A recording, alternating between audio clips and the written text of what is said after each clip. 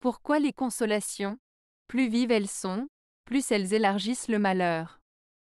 Balzac. Cette citation de Balzac suggère que les consolations, bien qu'elles soient offertes avec la meilleure intention du monde, peuvent parfois avoir l'effet inverse en amplifiant la douleur de la personne souffrante. En d'autres termes, plus les consolations sont intenses et émouvantes, plus elles peuvent raviver la douleur et la tristesse de la personne affectée.